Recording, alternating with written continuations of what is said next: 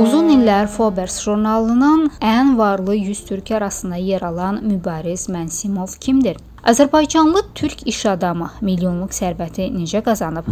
Gəmidə aşpazlıq edən bu gənc birdən-birə necə olur ki, 220-ni ötən donanması ilə dəryaların ağası olur?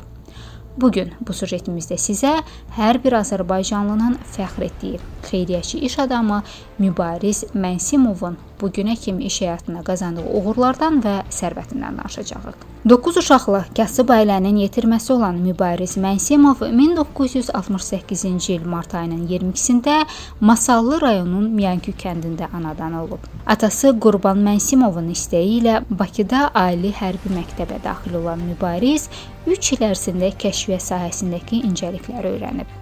1985-ci ildə Almaniyaya göndərilən Mənsimov nə az nə çox düz 4 il sonra öz arzusu ilə hərbidən təxris olunur. Erməni generalla davaya çıxan mübariz deyir ki, məhz o erməninin üzündən hərbi sahədən uzaqlaşıb, ona qarşı çox böyük haqsızlıq ediblər. Ailəsində 7 şəhid olan mübarizin ən yaşlısının 21 yaşı var. Şirkətində bir dənə də olsun erməni çalışdırmır. Hərbi karyerası bitən mübariz 2 il bir gəmidə aşpaz kimi işləyir. Daha sonra həyatının ən riskli qərarını verərək dostları ilə 150 tonluq gəmi kirayəyə götürərək tək başına dəryalara ağalıq etmək qərarına gəlir və beləliklə də verdiyi riskli qərarda yanılmır.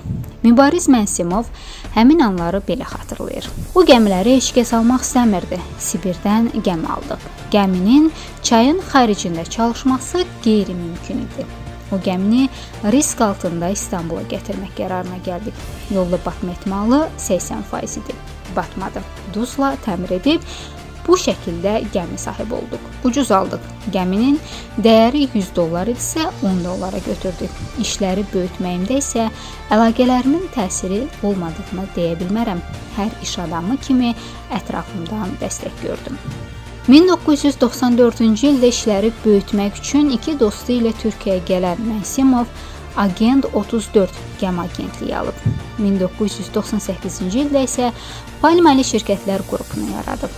Uzaq, əlçatmaz adam namına gələn şirkətin loqosunu isə iş adamı özü çəkib. Onu da xatırladım ki, başlanğıcda Palmali türk limanlarını ziyarət edənlər də daxil olmaqla İstanbul və Çanaqqala boğazından keçən gəmilərə agentlik xidmətləri həyata keçirib. Lakin iş adamı bununla kifayətlənməyib. Çox keçmədən öz donanmasını yaradıb. Dəniz nəqliyyatı şirkəti kimi birinci sıraya yüksəlib. Donanmasına görə isə ilk 5 şirkət arasına daxil olmağı bacarıb. Hazırda şirkət 170-i Palmaliyə məxsus olmaqla 230 gəmi ilə 105 milyon ton neft və neft məhsulları daşıyır. 2008-ci ildə Palmali gəmiləri ilə 110 milyon ton neft daşıyıb. Müqayisə üçün deyim ki, Rusiyada ən böyük tanker şirkəti olan Novaship ildə 60 milyon ton neft daşıyır. Palmali geopolitik sahədə də vacib rol oynayır. O, qərb istehlakçılarının Rusiya, Türkmənistan, Qazaxıstan, Azərbaycan, ümumilikdə Xəzər bölgəsinin enerji resurslarına çıxışına təmin edir. Şirkətlər qrupunun 25 ölkədə ofisi var. Tabeliyindəki 30 min nəfər işçi təkcə dənizçilik sektorunda çalışır. Qrupun fəaliyyət sahəsindəki digər şirkətləri də hesaba qatanda Mənsimov ayda 45 min işçiyə əmək haqqı verir. Palmali, Lukoil, Rosneft, Qazmunyaqaz və s. neft şirkətləri ilə əməkdaşlıq edir. Rusiyanın Lukoil şirkəti ilə müqavilə 1998-ci ildə imzalanıb. Palmalinin 129 gəmisi o zaman Aralıq dənizi, Ağdəniz, Qara dəniz arasında Rusiya neftinin 75%-ni daşıyırdı. 2007-ci ilin yayında isə Dövlət Neft şirkəti ilə Xəzər yataqlarından neft kəməri vasitəsilə Novorossiysk, Supsa və Ceyhan limanlarına daxil olan neftin nəqli barədə müqavilə imzalayıb. İllik həcm 25 milyon ton təşkil edirdi. Onu da bildirək ki, Azərbaycan hökuməti əvvəlcə özünün iri tonlajlı donanmasını yaratmağa hazırlaşırdı, amma sonra Mənsimovun donanması üzərində dayandı. 2008-ci ilin yanvarında Heydər Əliyev tankeri ABŞ-a Bakı-Tiflis-Ceyhan boru kəmərinin ilk neftini daşıdı. Bununla da bölgədə daşınan neftin 80%-i Palmali tərəfindən ünvana çatdırılmağa başladı. Mübariz Mənsimovun iş həyatındakı uğurlarında Rusiyanın Likol şirkəti ilə imzalanan müqavilənin rolu böyük olub. Palmali Likol neftini Həştərxandan Xəzər vasitəsilə İrana çatdırırdı. Bu neft daxili ehtiyaclar üçün istifadə edilirdi. İran körfəzinin cənub limanından alınan yerli yanacaq isə Likuylun qərbli alıcılarına göndərilirdi. Palmaliyə məxsus gəmilər ayda 300 min ton neft daşıyırdı. Bununla belə Mənsimov dəniz daşımalarını genişləndirmək qərarını alır. Hansı ki, bunun üçün yeni gəmilər lazım olur. 1998-ci ildə ilk tanker Armada yaradılır gəmi çayla da üzə bilirdi. Yeni qurğu isə Sovet tankerləri ilə müqayisədə komandanı 3 dəfə azaltmağa imkan verirdi. 2003-cü ildə Palmali donanması artıq 45 gəmidən ibarət idi. Onlardan 5-ini armadalar təşkil edirdi. 2006-cı ilin aprelində Palmali Likoildan 270 milyon dollara buzqıran tipli 10 tanker alır. Hazırda bu tankerlər Baltik dənizində hərəkət edirlər. Palmalinin ən böyük müştərisi dünyaca məşhur olan BP şirkətidir. Şirkətlər qrupunun kirayəyə götürülən gəmiləri ilə isə donanma sayı 220-ni ötür. Mənsimov donanmasına daxil olan gəmilərə adətən Azərbaycanın görkəmli şəxslərinin adını verir. Bunlar Məmməd Əmin Rəsulzadə, Çingiz Mustafayev, Mübariz İbrahimov, Əbülfəzil Çibəy və s.lərdir. Görkəmli şəxsiyyətlərimizin adını daşıyan tankerlər dünyanın dörd bir tərəfinə dolanır.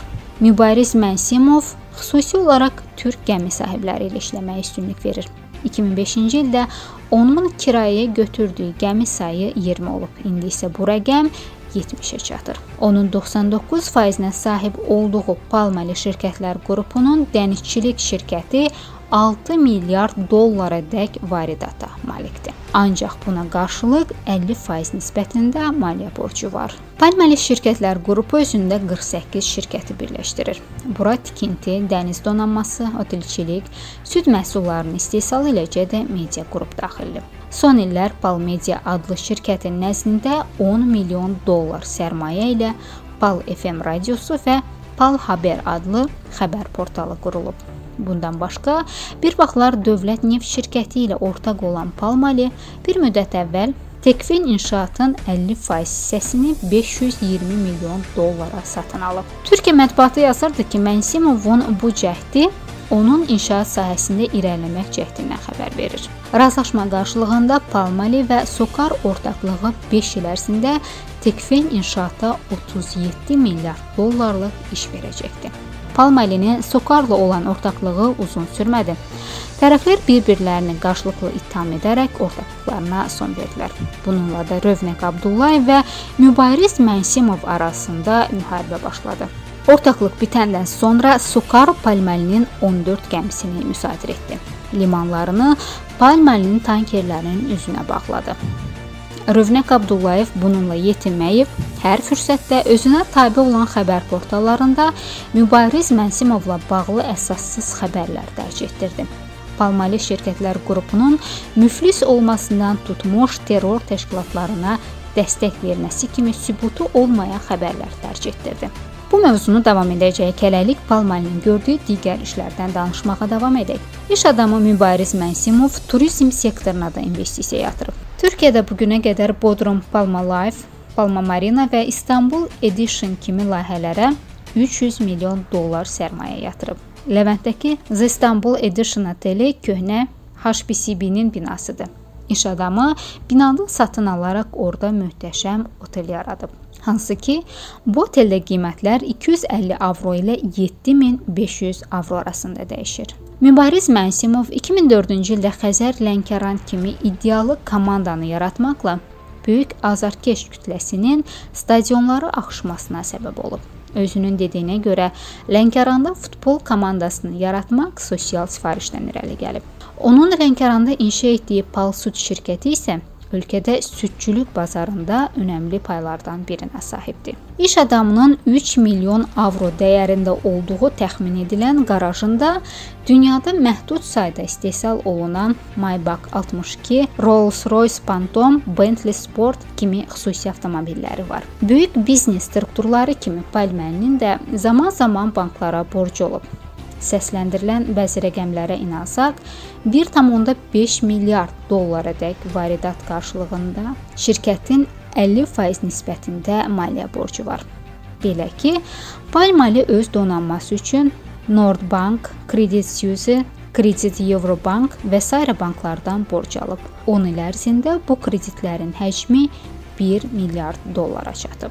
Qeyd edək ki, Mübariz Mənsimovun adı uzun illər Forbes-in açıqladığı ən varlı 10 türk iş adamı arasında ilk sıralarda yer alıb. Hətta 2015-ci ildə 1.3 milyard dollar sərvəti ilə Mübariz Mənsimov ən varlı 100 türk arasında 18-ci sırada qərarlaşıb. Mübariz Mənsimov Azərbaycan mətbuatında gördüyü işlərlə yanaşı tez-tez Azərbaycan məmurlarını sərt tənqid etməsi ilə də gündəmə gəlir. Amma görünür, bizim yerli məmurların bu tənqidlərə immuniteti çox zəif olub. Rövnəq Abdullayevin isə buna zərrə qədər də dözümü olmayıb. Mənsimovun hansısa statusunda adının hallandığını görən kimi troll ordusunu işə salıb. Hətta fərsiyələrə görə hal-hazırda iş adamının həbsdə olmasında Abdullayevin dırnaqarası desək böyük əməyi var. Xatırladaq ki, İstanbul məhkəməsi Mübariz Məsimovu FETÖ işi ilə əlaqədar ittiham edərək barəsində həbs qərarı verib. Mübariz Mənsimovla birgə saxlanılan Nuray Nurcihan Perker isə sərbəst buraxılıb. Xatırladaq ki, Mübariz Mənsimov martın 15-də İstanbul Baş Prokurorluğunun qərarı ilə saxlanmışdı. Saxlandıqdan sonra onun ofisində və yaşadığı evdə axtarış aparılmışdı.